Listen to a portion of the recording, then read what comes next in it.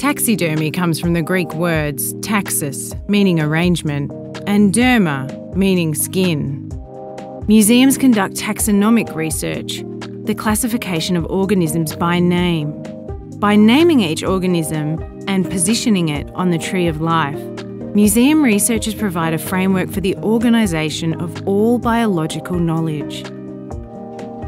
While taxidermy might seem like a relic of the past, it is essential to helping scientists understand the problems of today.